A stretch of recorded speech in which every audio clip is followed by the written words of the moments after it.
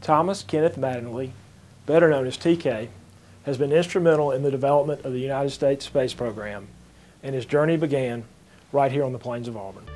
One thing I would say about Ken Mattingly is that Ken Mattingly has the real right stuff. The real right stuff is, a, is someone who's in an airplane or the cockpit of a spacecraft and who is totally dependable, uh, who is uh, uh, highly thoughtful, very innovative technically, uh, very, very solid um, uh, in, in terms of the skills they bring to bear. Mattingly's role in NASA's Apollo 13 mission was made well known by the film Apollo 13, in which actor Gary Sinise portrayed Mattingly, who was originally designated to be the command module pilot for the mission, but was grounded due to medical precautions for a condition that never developed. Hello there, Deke. What's the story? Jim, we're going to get that power up procedure to you. We're going to get it as soon as we possibly can. Ken Mattingly's in the simulator right now. Ken's working on it. From Mission Control, TK played an instrumental role in helping the astronauts of Apollo 13 return safely home. We know they have some power left in the LEM batteries, right? Yeah. We have an umbilical that provides power from the command module to the LEM. Right, it's backup for the LEM power supply. I'm listening. So, reverse it. Reverse the flow and see if we can draw these 4 amps from the LEM batteries before we cut it loose. Why can't we do that? We don't have a procedure for that, do we? You're gonna lose a lot in the transfer, Ken. Yeah, yeah, but all we're talking about here is 4 amps. He told me that he said, you know, there were thousands of people rolled into that character. And I know that there were thousands of people that worked to bring that crew home, but I know that TK played an integral role in making that happen. Mattingly's involvement with the Apollo program began long before Apollo 13. His roles included aiding in the development of the Apollo spacesuits, planning of the Apollo 8 flight to the moon, and helping to organize Apollo 11, which led to the program's first lunar landing.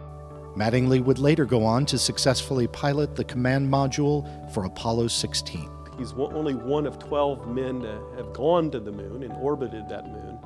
Um, and that's undoubtedly one of the highlights of his career. Mattingly attended Auburn University on a Navy ROTC scholarship and earned a degree in aeronautical engineering in 1958. Two years later, in 1960, Mattingly earned his wings and would go on to amass 5,000 hours of jet aircraft experience, flying the A 1H aircraft and the A 3B aircraft from aircraft carriers. From there, he set his sights on the stars. In 1966, Mattingly was honored as a distinguished graduate from the U.S. Air Force Aerospace Research Pilot School and selected as one of NASA's Original 19, a select group of pilots who would go on to either fly to the moon or fly shuttle missions. Mattingly accomplished both. One thing about Ken is you don't want to just call him a, a spaceman or an astronaut. I mean, he is a very solid engineer He's a naval aviator. He became a rear admiral in the United States Navy, after all, and he became a very accomplished and respected aerospace executive. So you put all of that together, and the man's just had an unbelievably extraordinary life and, and life's work. Mattingly's career with NASA continued well beyond the Apollo program, as he served as head of astronaut support in the Shuttle Transportation System program. He led the Astronaut Office Ascent Entry Group and he was technical assistant for flight tests of the Orbital Flight Test Program. After serving as backup commander for STS 2 and STS 3, Mattingly was appointed commander for the Space Shuttle Columbia's fourth and final test. This was the famous Auburn flight because it was a flight that Ken commanded, but his pilot for that flight was Hank Hartsfield who's also an Auburn graduate. And one other thing about Apollo 16, which tells you about Ken and his fondness for Auburn University, um, Ken apparently brought an Auburn flag with him on that mission. The astronauts were not allowed to make to, take many personal items with them. And I think that says a lot about how, what Ken, how fondly Ken kept Auburn University in his heart. Since Mattingly's retirement, He's returned to Auburn on a number of occasions to speak with students of the College of Engineering. I think that he really has had an impact on students and he has a love for students. And um, the engineering students really ask a lot of questions of him and, and he loves to take the time to teach them and to impart his knowledge upon them. And I think that that's one lasting contribution that he's made to Auburn. Ken, I believe, comparable to Neil Armstrong, would pro probably say that first and foremost, of all the things he is, he's, in, in, a professional sense, that he's an engineer. And he became an engineer at Auburn University. In terms of what Ken means to Auburn, I mean, certainly we have unbelievable respect and admiration for his life and his career. He really has uh, a name recognition that would, uh, and has more or less done the heroic exploits that really appeal uh, to the American public. And, you know, for a dean of a college of engineering to have a grad like that, you can't get much more gratifying. Following his retirement from the Navy as a Rear Admiral in 1989, Mattingly continued his involvement with aerospace engineering within the commercial business environment. Mattingly took on such projects as developing commercial uses for General Dynamics Atlas launch vehicle. He headed up the X 33 development program for Lockheed Martin, as well as becoming director of Grumman Space Station Support Group. And he has served as president of the Rocket Development Company, which is dedicated to developing low cost commercial launch systems. He had real high management positions with real technical problems and issues to solve. Um, he would not have taken jobs if they just wanted him to be the token astronaut on the board. I think his greatest accomplishments have been the continued uh, promotion of the importance of America's efforts in space. The technology that has come from uh, that effort that has uh, you know, basically uh, enhanced and changed life in probably every household in America. Mattingly has been decorated with numerous awards throughout his stellar career, including the Johnson Space Center Group Achievement Award and the American Astronautical Society Flight Achievement Award. NASA has also awarded Mattingly with the Ambassador of Exploration Award, a lunar sample collected during the Apollo space explorations, which Mattingly so passionately dedicated his life to seeing through. Uh, he selected the College of Engineering at Auburn University to display his award. It tells you something about TK's loyalty to Auburn University. It holds a special place in his heart. And I think to receive the Lifetime Achievement Award, which is the um, the highest award you can receive at Auburn, means the world to him. This is a different one. This is a family award. This is a recognition from your family that you have accomplished great things. For a man with such a distinguished career of excellence, amongst his defining characteristics, TK is an extremely modest and very reserved individual. It is this down to earth quality that others find so remarkable when they recall conversations with him. I've never met Thomas. Thomas is, a, is TK's son, but I can tell you how proud TK is of Thomas. Um, when we talk about Thomas, his, he just beams. He does love uh, foreign sports cars. One of the things I remember him telling me was that he had told Thomas when he when he finished his degree, when he um, became a doctor, that he owed TK a, a, sports car. So I don't know if he ever got the sports car, but um, Um, but I do know that TK is so proud of his son. I don't think anybody ever questioned the dependability of, of Ken Mattingly. He's a very disciplined man, very, very strong work ethic, very driven. Some people you know, that, that they're driven by a passion for something. And I think that he's driven a passion for a successful space program. For a man who has reached into the heavens, his feet have always been planted firmly on the ground. From the humble plains of Auburn to lunar orbit, TK Mattingly has been an outstanding achiever. Ladies and gentlemen, we're so incredibly honored that he is an Auburn University graduate, and we, we believe in our hearts that his, his story is something that will stay with us forever and will be a motivation and, and, uh, and, and a factor of, of stimulating young people to dream big and to never give up. Failure is not an option. Uh, those are all uh, elements of who Ken Mattingly is. So it's my pleasure uh, to introduce to you uh, an Auburn man, an Auburn engineer, an American astronaut, an American hero, Ken Mattingly.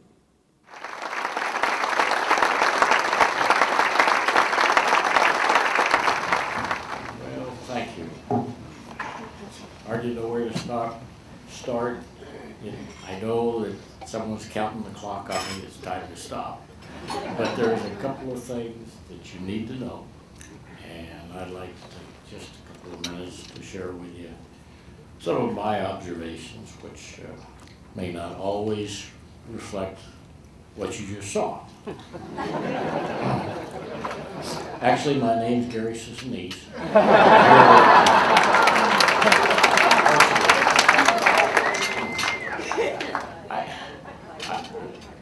you know, you owe a lot to a lot of people.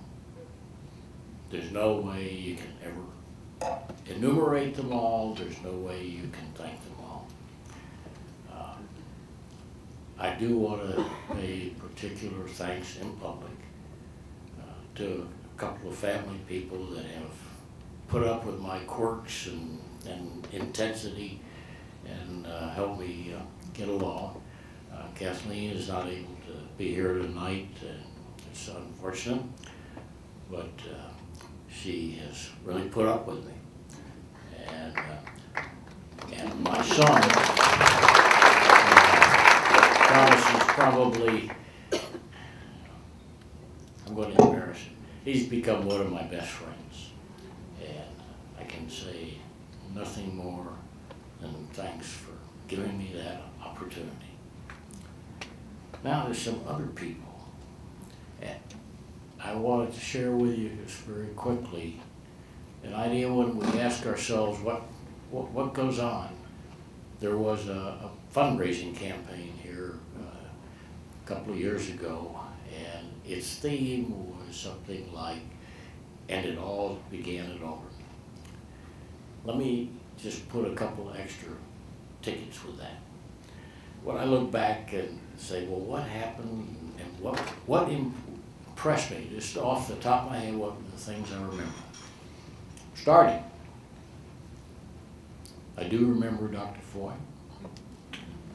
I have great fond memories of Bill Ham, who used to run the laundry and cleaners. That man represents Auburn. I have fond memories of Professor Fred Martin. Some of you here may remember Fred. He came to Auburn the same year I got into aeronautical engineering. He taught me two lessons that were very, very painful and very useful.